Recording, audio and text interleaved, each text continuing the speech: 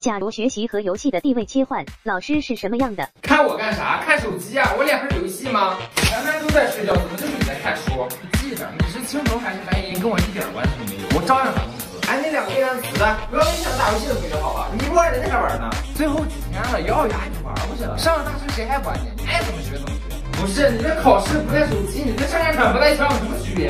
整个教学楼就你班学习声大，我在楼上陪你读书了。不可能的，快学习吧。